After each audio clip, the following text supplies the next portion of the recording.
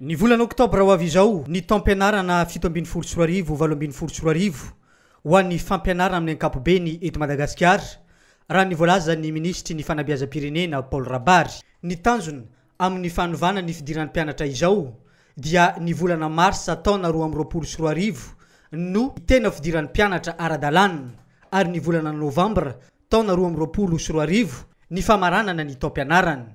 Io no tanjona araka ny voalazan'ny minisitra. Ny fanivaran'ny kalandrien'ny taom-pianarana dia tafiditra ao anatin'ilay atao hoe PSE, Plan Sectoriel de l'Education. Ary ianareo aty amin'ny faritra Boeny dia anisan'ny voakasika amin'izay satria matetika izany amin'ny fotoana fahavaratra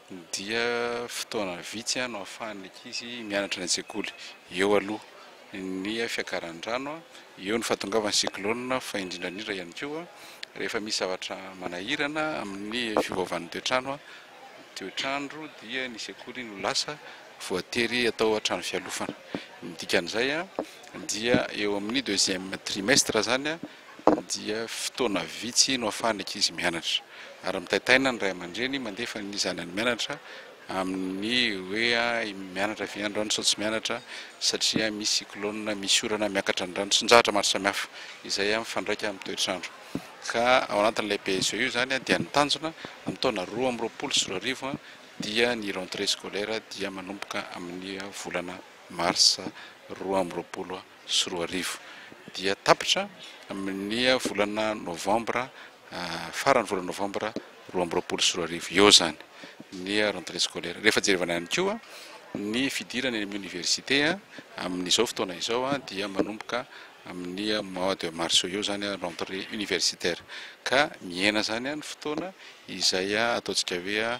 Varimbariana ireo ankizy afaka bakalorea satria vao afaka bac izy amin'izao fotoana izao izy afaka bac amin'ny volana aout amin'ny mars izy vao mianatra amin'io izany afaka bac volana decembre dia mars izy mianatra. Ny fanatsarana ny kalitaom-pampianarana eto Madagasikara, ny tanjona nanovana ny fotoanan'ny fidiran'ny mpianatra.